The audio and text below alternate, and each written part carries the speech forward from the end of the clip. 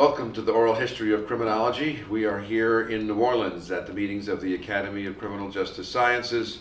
Uh, we're interviewing Dr. Frank Hagan, who has had a long and distinguished career uh, in, in, the field, a prolific uh, author and researcher, and uh, we hope to find some uh, insights today into his life and, and, and his work.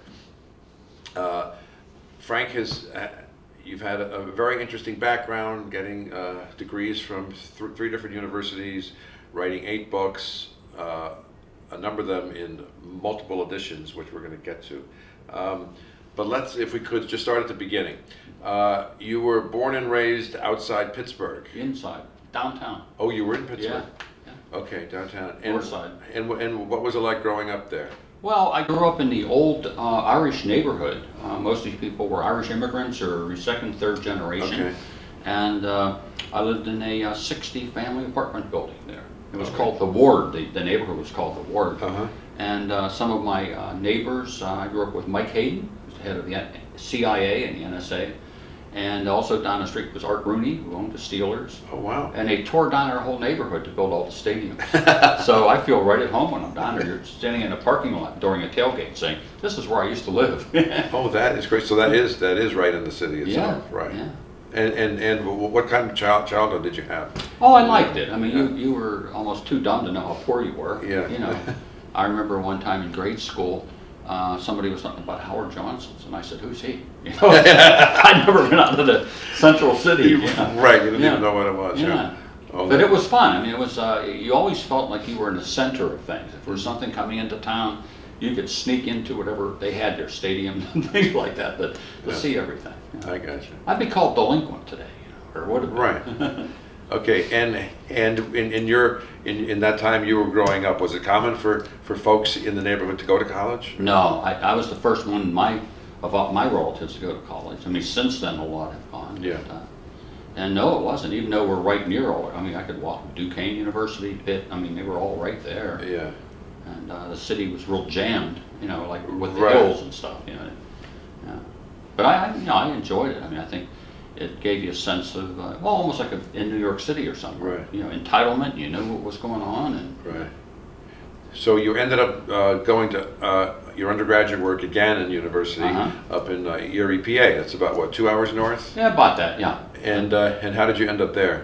Well, um, I just uh, actually I had a, a, or a teacher in, in I went to North Catholic High School and really admired him, and a whole bunch of us went up, up there to school. We thought it was cool. And I actually, in, in, in retrospect, it was great to, I had to lose my Pittsburgh accent, things like this, you know, like the kid from Brooklyn, you know, right, right. they're not going to take you as seriously or something. I still have some of it, but I mean, I, I, I, think that helped me a lot. And it was nice going away to school too. Okay. And now, uh, was uh, Dan Koenig on the faculty there? Yes, he was. And uh, Koenig, yeah. He, uh, as you know, uh, if you were talking about influences on my life, he was one of the biggest and he was on the faculty. He was a young guy. He was about a year or two older than me at the time, yeah. teaching us. And uh, he taught for many years at the University of Victoria, British Columbia. Mm -hmm. And uh, he died, unfortunately, not yeah. too long ago, of cancer. Oh, really? Yeah. But he was a he was a, a wonderful man, a very uh, influential man. Right. Yeah. Yeah. I recall him being at a few of our meetings here. Uh -huh. Yeah. Yeah. No, an interesting guy. Okay, and then a big jump occurred when you get your bachelor's degree and you decide to go to, to the University of Maryland, mm -hmm. uh, which is you know a long way from Pittsburgh. Yeah, so, well, so as you think. I mean, yeah, yeah. And so, how, how, did that happen? Well, you know, I think in many of these things, I would almost get a compass and just draw a big circle from Pittsburgh. And my wife's from Erie, so you know, okay. I'm going to have two circles, and that's where I like to go. You know, and mm -hmm. so that's kind of the way I hit uh, Maryland, and that seemed exotic. I was getting out of the northeast. It's still the northeast, yeah. but you know it's near D.C. and right, uh, I was glad I went to Maryland. I really enjoyed it and uh, and doing research there and everything. Right, and uh, your master's thesis was it, where you did it on the town of Columbia, Maryland? Yeah, which, which I is one of the original planned communities. Yeah, I really enjoyed that. Uh, I, I, think uh, part, uh, part of my area is research methods, and a lot of it was dumbing your way into some of these things. I yeah. thought, boy, that'd be cool, the largest new town ever built from scratch in, in the country. And, uh, and I talked with, I had got a mentor, and I said, I'd like to do that. And I had no idea what I was going to do. I, I started off with participant observation, mm -hmm. and uh, the town was hardly built. Uh, there weren't that many people living there, and their headquarters was in Baltimore. So I used to commute to Baltimore, and they were real nice to me. But let me tell you how I ended up uh, with an office and doing all this research in Baltimore. I saw my advisor and I said, "Here's an ad in their newspaper, Columbia Times or something, that they're going to have the informal discussion group, and uh, do you think I should go to that?" And he says, "Oh yeah, it's a newspaper, you know." So I went up to this thing. And uh, we teach people today that you get permission for things. I had no idea. I was 21 years old, sitting in the lobby. Residents are coming in, going into another room or something like that. And so I went in there too. And you're all complaining. Every one of them said that uh, I was interviewed last week by Time Magazine. I was interviewed by the New York Times. They couldn't get out of their, their homes on the weekends and stuff. And I was so damn, I didn't ask anybody's permission. I'm sitting there and finally somebody says, I haven't heard a thing from that guy over there. I would gulp. And I, you know, I explained what I was doing, and a few of them said, you know, good luck, kid. They knew I was harmless. And some others, what's your name? And Oh, right. all that, yeah. So I went to the university the next morning, and every student that I knew was saying, "Did you see Dr. Jane Jack? They people are hunting for you." And yeah, and one of their developers or whatever, he came down to the university. and He saw my advice. What if I, what was that guy doing up there? Are you spying on us? I don't think he had spies up there. That's what they said. You know. Oh, wow. So I, I said, no, they probably just looking at me knew I wasn't Oh, uh, yeah. capable. But um, they, um, fortunately, they said they'll be glad to cooperate with me, but they don't want any more participant observation. The, the residents, you know, wouldn't like that. So I was up in Baltimore then. They says, here, you know, you can have this office, you can have access to anything you want, you can interview. James Rouse was a developer of that. He's the guy that uh, you would know. He did the inner city Baltimore uh, Mm-hmm. Uh-huh. redevelopment. He did the, the Riverwalk here in New Orleans. Oh, did he? Oh yeah, you named some really you know spazzy type of uh, development, and, and he was behind it. And he had real a real visionary type of guy. He did he did stuff that you know, we were like, okay, I'm going to build this, but I would like it for all races, all social classes. I mean, you know, rather than just another suburb, you know, upper Right. middle class commuting in and all that. And so he was really a visionary type of a guy. But at any rate, I mean, that really got me. I thought my thesis was done. You know, see you later. But uh, you know, that, that worked out very well, and I didn't know what to do with it. But I realized at the time it was probably the first study Right. done on that place. Yeah. No, it, it, it really was a remarkable thing, uh, you know, basically trying to create a new community from scratch. Oh, absolutely. Uh, you know, and plan it out. Well, he argued. He said this is going to be a real community, not just another suburb. Yeah. Because it's easy in D.C. and Baltimore. They're about 34 miles apart or something like that. To do anything and you it would sell. Yeah. But uh, a lot of people really appreciated the, the community. Now, I've unfortunately not done much with that at all since then. So Right, sure. maybe sometime I'll get the foundation to sponsor me. Okay, so, uh, and, and then an important thing happened. You decided at one point to go on for your PhD. Uh-huh. Uh, what, what, what contributed to that decision? Well, I, I could have just stayed on. We had some deaths in the family and reasons to get back into western Pennsylvania. And I was teaching at Slippery Rock University. That was one of my stops. Yeah, And, which, um, which, which is located between Pittsburgh and. Right, yeah. and I'm glad I did that. That gave, they're not gonna give me my dissertation and my PhD when I was probably about 23, I think, you know. So I got a chance to be seasoned a little bit, you know, Yeah. and, and get some experience. And I think it was invaluable to get that experience. It really helped. I went to Case Western Reserve in Cleveland, uh, initially commuting, and then later they offered me a job over finish my dissertation. And that's when I moved into Collinwood section of Cleveland, you know all the stories. Yeah, and, uh, and, and that, that is interesting, because when you look at your uh, career, and we're gonna get, we're, we're we're getting there. um, uh, But, but, uh, before we get into your written work, you did have spent most of your career at Mercyhurst University in Erie. Yep, Uh, yeah, you were there, I don't know how many years, a lot of years. a lot of years. Uh, So the question is, uh, why there and why did you stay, given the fact that, you know, uh, over those years, you were becoming, you know, very well-known and Oh, you- you you. could have easily moved. Well, it's my wife's hometown, so that, uh, and I liked it there. I mean, Yeah. it's, a- believe it or not, like a summer resort area, really. And uh, it's not so great this time of year. you know. We have single-digit uh, temperatures and Right. 130, we beat the hell out of Buffalo, Rochester, Syracuse, 138 inches of snow we have currently. And none of those are anywhere near Yeah. that. They're about 20, or- imagine Buffalo, we beat them. Yeah, no, it, it was, was amazing. But it's a nice, it's about 200,000 metropolitan area, and it's just kind of not quaint, but I mean, it's kind of nice, you know. Yeah. And you're real close to Canada, you're real close to Buffalo. We are about uh, the only, only uh, city in the country that has three FN, three NFL franchises within about an hour and a half drive, know. And, uh, and that's another claim to fame. I have had season tickets to the Steeler games, so that was, That was important. that was important on where you're located. Right, given the fact that you were, you know, born and raised in the shadow of their Oh, stadium. yeah, yeah. Uh, yeah, that is good. Yeah, so so that, that that I guess has always been an anchor, an anchor for you. Uh, now, you know, some would say that that you became finishing your PhD at, at Case uh, sort of a classic criminologist. In other words, the core of any field of study is theory and method. I mean, Mhm. that's sort of so. If you're going to start a program of any sort, you Mhm. have to teach theory, you have to teach method, No, uh, true. and uh, and those have been two of of your major driving areas Mhm. over the over the course of your career. So it's in the uh, early '80s uh, you decide that you're going to write a research methods book. Mhm. Uh, what get what uh, got got you to that point where you wanted to do that? Well, I was asked to teach uh, more, more and more criminal justice. That's where you, you moved in that direction. And uh, they asked me to teach research methods. And I said, well, you know, what books are there? Well, there aren't any. Well, you know, I could use a social one or this or that, but why not, you know, pick up on that and, Right. and try to write one? And uh, actually, I think may, there may have been one person who beat me to it, but they didn't. Nothing ever happened to that. So Right. it almost becomes the first one. You know. Right. Uh, so yeah, so you're teaching a class and say there's no methods book with examples from criminology. That's exactly it. and, Uh-huh. and, and that, that kind of thing. Yeah. Um, now, have you now that, that book is in its what tenth edition or something Yes, like it that? is. That's right. And uh, I mean, in in this field especially, I mean that that's incredible legs. There's not many books that make it to ten editions.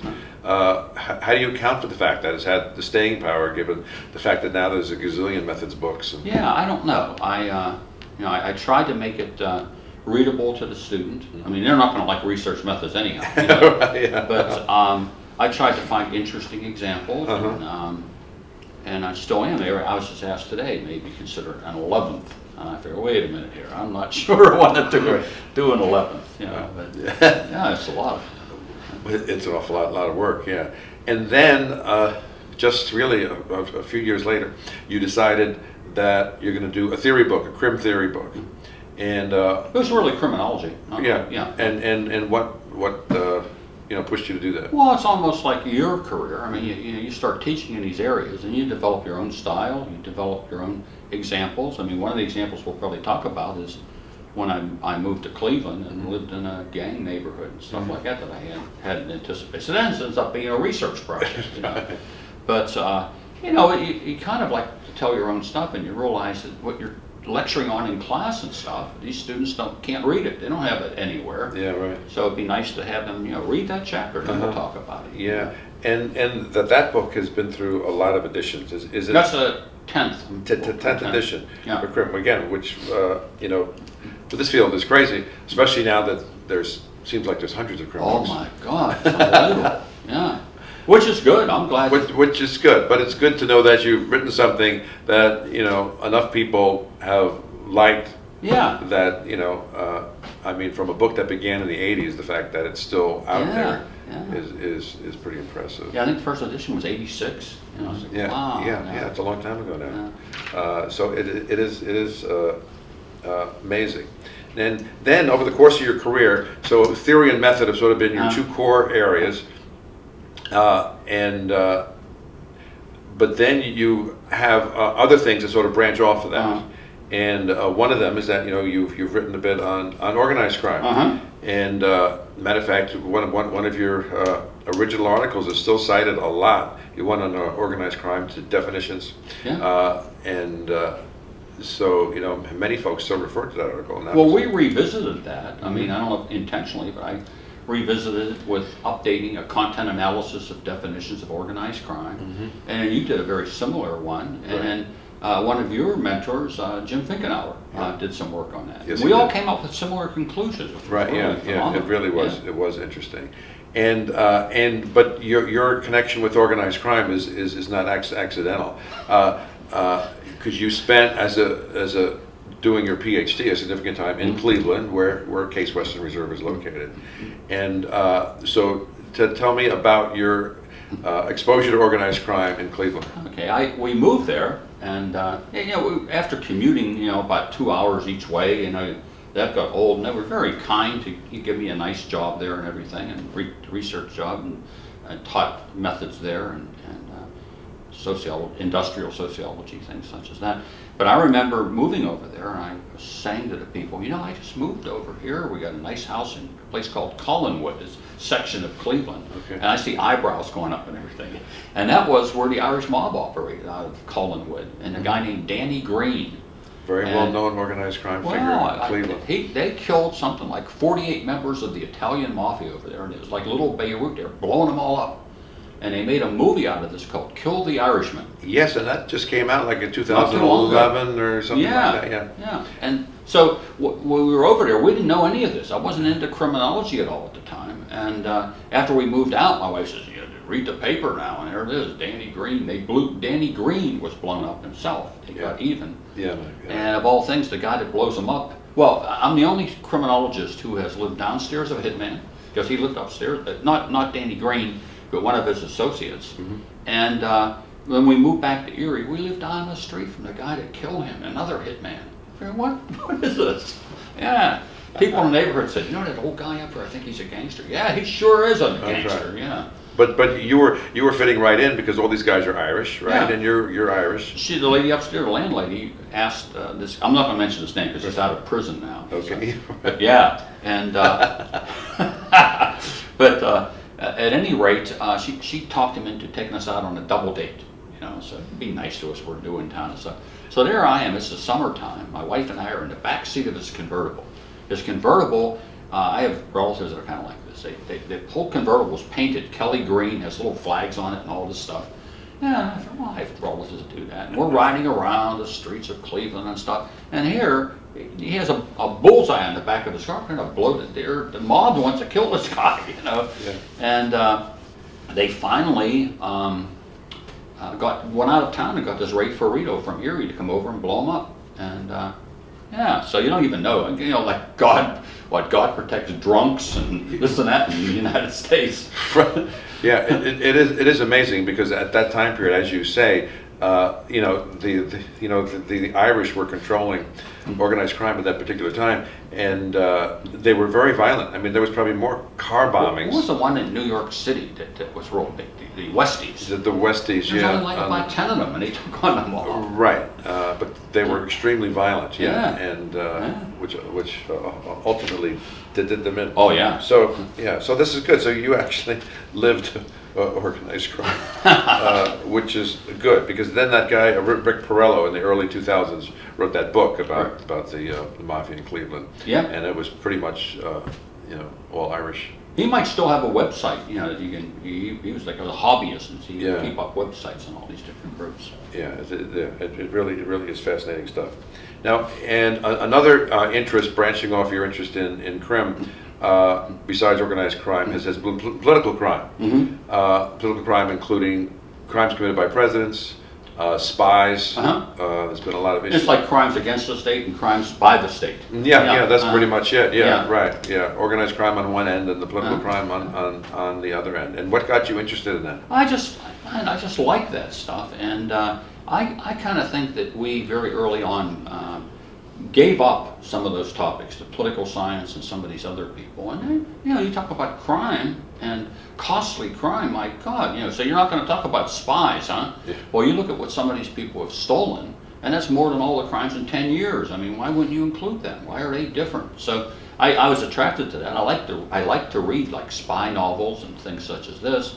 You run out of fiction, why not read the nonfiction and see what you can do with it? Right. But a lot of people jumped into that after 9/11. But you know, the early days there was nobody really studying that stuff. No, and and the proof of the pudding is, uh, I forget what the year was. You were invited to speak to, to the intelligence community, I knew someone else that was along for that speech. and uh, it was it was in uh, it was in, in in Virginia. It was the Northern Virginia Intelligence Community. Yeah, the Northern. Virginia. That's exactly Yeah. who it was. And uh, but they were looking for answers because they were having a lot of incidents where Oh, yeah. Good agents were going bad. People Mhm. who were screened well up front were were, were getting in, Mhm. into trouble. and, uh, you know, they were looking for people who had, you know, d- done Sort of cross, cross-check their stuff and see Yeah. if they're on the right track too. Yeah, exactly. Uh, So it, it is rare, I can't think of too many occasions where, where the, the intelligence community turns to an academic. Well, it was funny though, because we, we, we went down there and uh, there was another fellow with us and, uh, and the FBI were escorting us around. Because I said the intelligence community, were CIA and all different people over there. And uh, the, the FBI guy didn't bring proper credentials. They weren't letting him in, we got in. But, uh, but I think I'd like to see a lot more of that. And, Yeah. uh, and it's not like they, they know more than we do, or we know more than they do, but we're cross-checking it. They can say, you know, we didn't get that angle on it, that, but that's good. Right, and, yeah, and what they were looking for is people who had done work like you. When you look at a, a number of these cases, what seems to be common features and that kind of thing, and they hadn't done that kind of analysis. You know, it's disconcerting though, they'll just, uh, before your presentation, they'll say, we'd like to remind you now that this is all, you know, like, they have their own wording for all this stuff. This is all top secret, not, no, not top secret, you're not to develop, divulge that material. Right. Uh, and so this is all open source material, and that's fine, you know, so, and, so, you know, I always felt like you could be doing all this stuff and, and you're making a fool out of yourself because you never read all the secret stuff that, you know. Yeah, you don't, you don't know what they know. Yeah, they could have put some guy up to doing this and that to uh, confuse the Russians or the Chinese or something like that. And we, we didn't know that. Yeah, and yeah, that- that's true, we Yeah. wouldn't know. Uh, But, you know, a very, very interesting, interesting experience. Oh, yeah. And then a, a related uh, area, of course, connected to both political crime and organized crime is white collar crime. Mhm. And uh, you you have done work, you know, in, in that area as well. Mm-hmm. And did you see that as a natural branch off of the other two? Well, I don't know. I don't even know what, which comes first. Yeah. It, it's more fun to study, you know, smart criminals and uh, and uh, criminals that really cost us a lot of money. I mean, you could take a given year, and I don't know what the, all the bank robberies might be, hundred thousand dollars. I mean, that was a pittance. Yeah, right. And uh, these people were stealing, I think the savings and loan scandal was five hundred billion dollars. Let's, start- there's crime. That's every robbery ever since Slippery, uh, Plymouth Rock, and I mean, it, uh, and we, we weren't really talking about some of those things. No. Yeah, and you were one of the first to sort of, to start tying this together, you, when you did work on, the savings and loan scandal, uh, which, which broke in, in, uh, uh, in the eighties and nineties. The, uh, and the interesting part there, that there were elements of organized crime and political crime and Oh, white yeah. collar crime, uh, in all of that. Yeah, when a lot of those people went, they just jumped right in there because the federal government was funding anything. And at the time, they had things like heads, I win, tails, it was called FSLIC, Federal Savings and Loan Insurance Corporation. Yep. FSLIC loses. Right. And the federal government, I mean, it was like F, F, uh, what is it, uh, the bank. uh, FDIC, all yeah. Yeah, it all came out of the Depression era, and they didn't want another depression or anything. But they were funding everything. I mean, they, you know, instead of, what they should have done was just closed up all these places as fast as they could. Yeah. Because all that they were getting was about three percent on loans for houses, and, uh, I forget what they were paying out uh, on other, things, eighteen percent or something. That's not a good business model that they were following, know. Right, and, and it was very good, you know, to point out that the essence of the whole scheme was corrupt relationships. Oh. And, the- and they're, you know, it was hard to tell who the good guys were, who the Oh, bad guys absolutely, were. yeah. And, uh, and people were getting great rewards for running these savings loans. And as you were saying then, um, they, uh, the mob, uh, you know, got in- involved in some of these. And you know, Charles Keating uh, out of Mm-hmm. Ohio was doing a lot of this stuff. And in many cases, when these places went bankrupt, here's the federal government owning houses of prostitution in Nevada.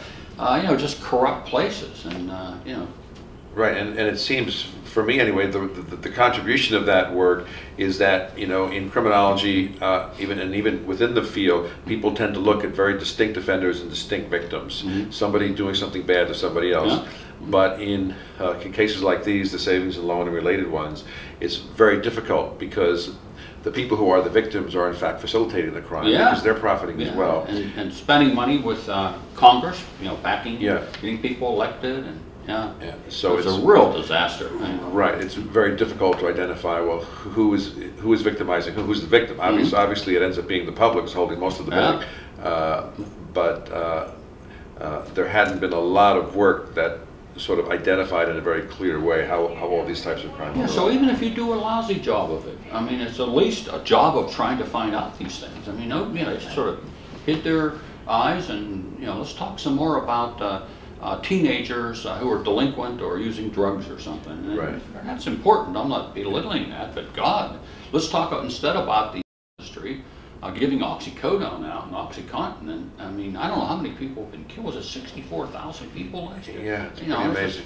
Heroin looks like the good old days, you know? Like. Right, exactly, yeah, Yeah. I know that, yeah, the pills are, are just so, so much more, so, so- so much more powerful.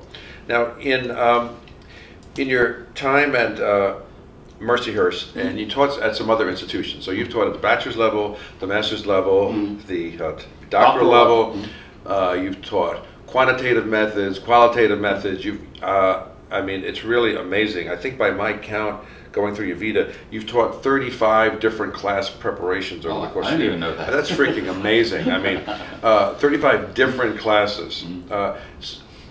Mm-hmm. So my question is, when you do that, and then even at Mercyhurst, you were chair for a while, and you were even dean of graduate studies for a while. Mm-hmm. So given all of that, uh, you know, you have taught a lot. You know, I mean, heavy teaching load, lots of lots of preps. How did you manage to be a prolific writer, uh, writing you know eight books, a couple of them in the tenth edition? Uh, so when you start adding up manuscripts, that's a lot of manuscript. That's almost like one a year over the course of your career, uh, and uh, you know one year book manuscripts. Um, so how were you able to maintain that level of productivity?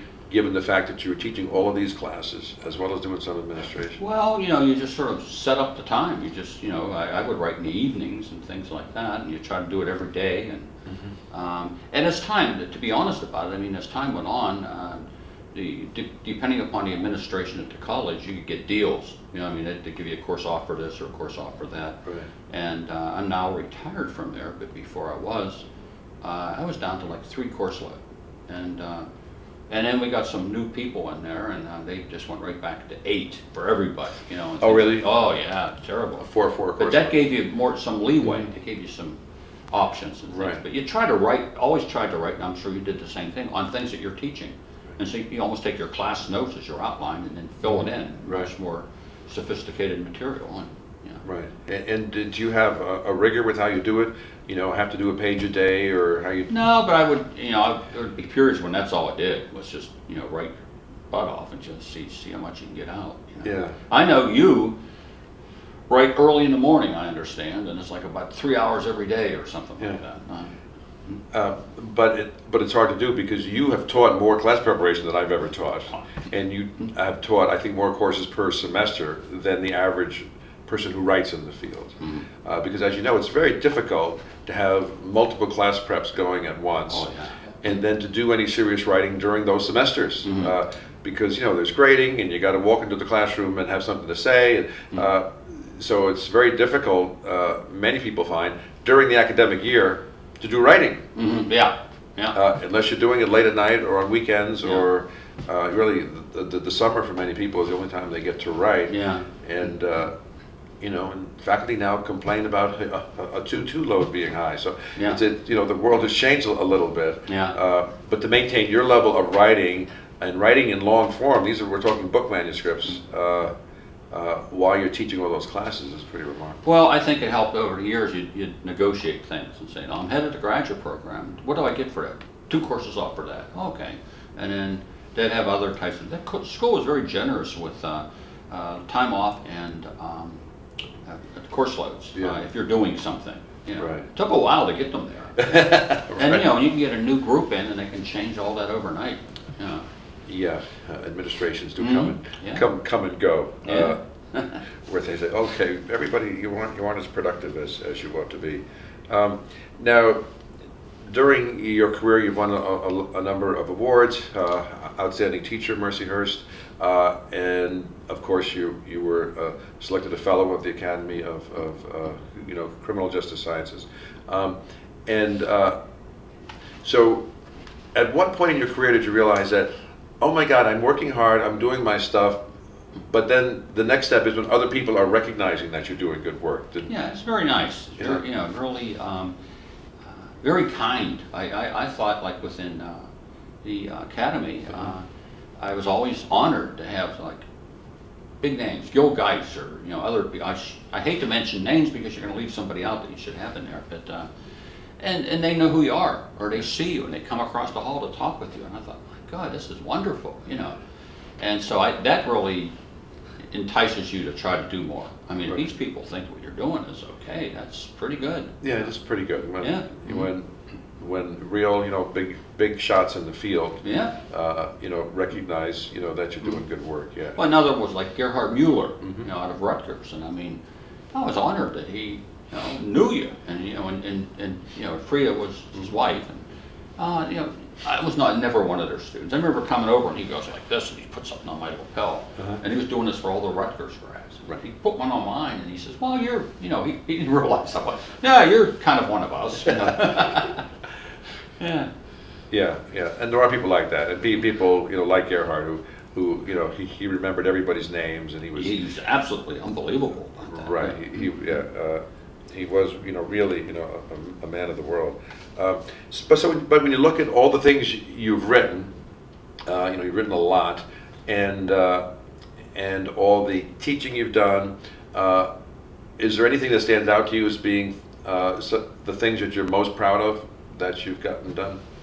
Well, I don't know. I mean, you can go all the way back to just getting to PhD, graduating from college. I mean, you know, a lot of those things are big deals, you know. Right, yeah. And uh, and then as you're saying, like writing a book, and then people actually buy it. You know, it's like, that's always amazing. you know. Somebody other than me has read it. Yeah, use it as a doorstop and stuff. you know. but I'm, I'm real proud of those kind of things. And Yeah. People are validating you. I mean, they actually thought this was okay. Maybe I'm on the right track, and you know. But you might as well do something. You might as well make some contribution back to the field in one way or another. And that's what I'm most proud of, like research methods. And because when I first started into criminology and criminal justice, I mean, research methods, you just got somebody else to teach it. You know, and we pretty well started developing our own statistics, our own research methods, and uh, and just uh, some of the areas that we're most interested in, in terms of organized crime, political crime, white collar crime, and getting some of that stuff uh, published. I, you know, I took pride in that. Yeah, oh, absolutely, absolutely. And uh, again, two books, both in their, you know, in ten editions is just, is, you know, is just uh, amazing. Um, And, uh, and, and as you look at your, your career and all the paths you've taken from, you know, Maryland, you know, to Case, to, to Mercyhurst, to writing projects that, that, that, that you've taken on, uh, are there certain, any of those that, that sort of stand out to you that you're the most proud of? Uh, well, I, you know, we're going all the way back to Columbia, Maryland. I Yeah. mean, that was kind of, you know, no one was writing about that at the time. And I was lucky. You could see how I, I got in there at all. I was lucky, you know. And sometimes you just sort of fumble into things like that. But uh, um, I, I really can't think of specific things. Yeah, that, specific. you know. But I'm, I'm just happy to be, to, to do what I'm doing. I mean, to be in criminal justice and, and criminology and uh, and having colleagues that uh, I'm proud of. I, I was thinking, uh, somebody, I thought you were going to ask me, who are the biggest influences on your thing? Well, like besides Dan Koenig and a few professors, my role models were people like you, and they were all younger than me, and, and many of them were female, and uh, you know, we did a lot of this casually, almost uh, socializing and things, and that, that really. Um, I was proud to have all these people as my friends, and, and, and they, they uh, led me to uh, maybe do more. It wasn't consciously, but you figure, you know, they're doing it, and why don't I do it, you know? Yeah, and, and this is true. Uh, a, a few of the books you've done with uh, with Dave Simon and, and Pam Mm.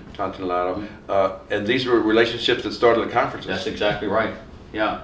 And, uh, and so people think you're just going to party or something. You go to it, you know, it's, uh, it's, it's almost like a session. You get Yeah. to know the people there, and, uh, and you're going to be writing something. Oh, I know, like Pam, she knows something about that, or uh, Wanda Foglia, or some of these other people. I mean, they're, and they're all. I mean, none of them were had their noses up in the air. These are all people that Yeah, you could people. really uh, take pride in knowing. Yeah. Yeah, and, and it is interesting because, you know, as, as your career, you know, really took off in the 80s, uh, you know, back then there wasn't all this online stuff, you know, with, with ResearchGate and, and all these other things where you Yeah. could see what people are doing. You relied much more on the meetings to Oh, find out absolutely. what's coming out. you know, Absolutely, yeah. uh, what folks are working on. Uh, and, uh, right, and it was all those offline conversations, Mhm. you know, at the bar or after sessions or whatever. Oh, yeah. That, uh, that, yeah. that- That reminds me, in the early days, I, I remember it was in San Antonio, it was one of the ACJS conference, and uh, Peter Benekos was with me and, and kind enough to come to my session, and I think no one showed up. I mean, Maybe one other person showed up, and so we decided to uh, go to the bar uh, and call it a roundtable.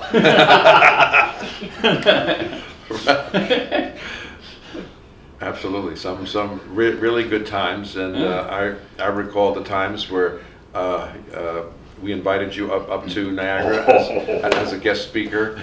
That's a scam. I mean, He'd invite us up there and they'd put signs all over campus. Today, a distinguished professor, you know, all this. And I think he gave us a hundred bucks and then they'd take you out to eat and we had a good time. And then like the next week, we would have the same thing over at Mercyhurst.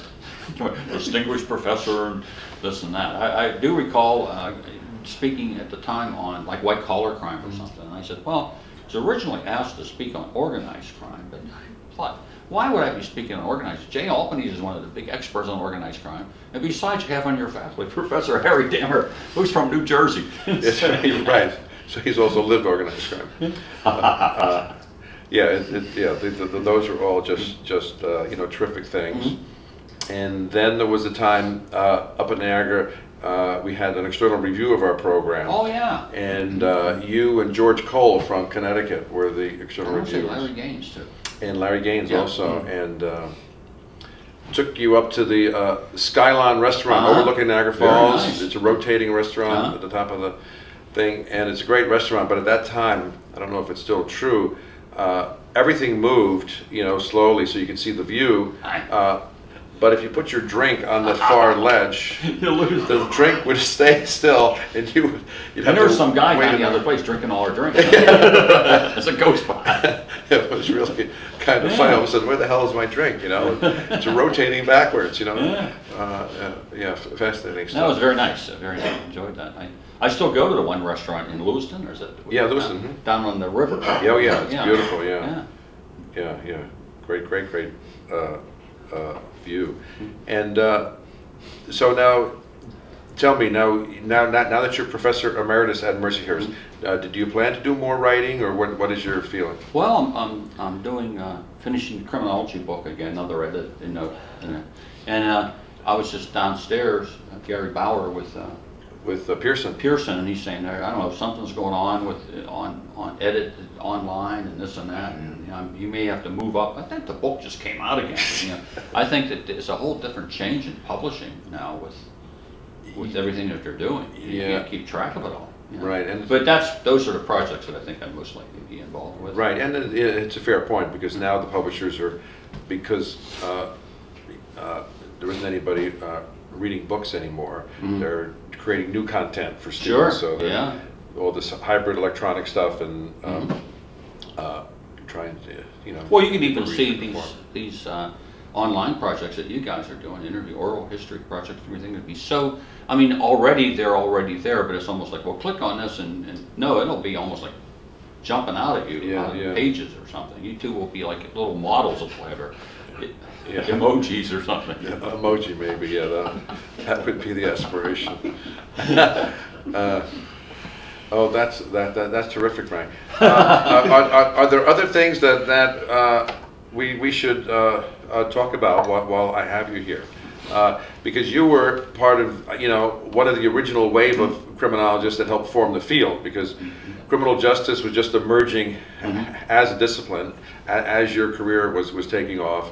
Um, And that resulted in, in a window that you exploited very successfully to say, well, this is what research methods in criminology and criminal justice ought to look like uh, in your book, and this is what a criminology, uh, you know, a, a crim theory kind of book should look should include. Because back then it was a much bigger deal because you were helping define well what should be in a standard text, uh, and back then that had not not really been settled yet.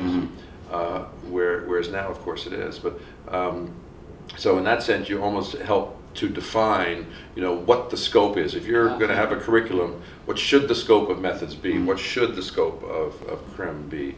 And uh, and that, that th- those are very interesting times because you know, as you know, criminology was separating from soc, and Yeah. and uh, it was a, just a, a very interesting time Mhm. to, to be writing, uh, to be writing.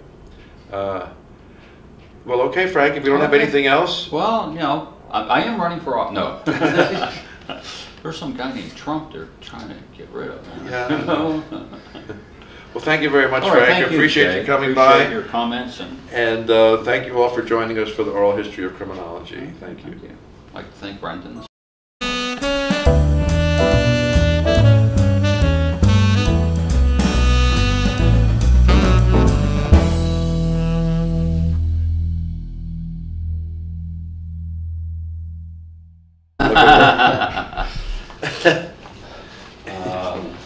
We got to do stuff with that name, you know, like with Petty and those two were out of control last night. I They- had they- I had to leave. It was fun, yeah, it was fun. Ah. Uh, But yeah, they are great and, you know, rooming together with that. I saw, um, uh, what's it called, going up to his room to get a corkscrew. He said, Okay. Oh, right, when I said, anybody here have a corkscrew, two people stand up. I said, how do these people walk around with corkscrews, and what the hell is Well, the other meeting, you could either get a bottle of wine or a book. And he says, who's gonna go grab the bottle of wine? Everybody think you're an alcoholic, you know? You look like you're. Right, and of course, that, that, that was the wine they had last night. Uh-huh. But yeah, it's, it's hard to explain to your colleagues. You had a choice of ten books or a bottle of wine. I took the wine. Uh, if I want to read, I'll read the wine label. And I'll go to the library. All right, you two are ready to rock and roll here. Ready? So, Okay. yeah. Yep.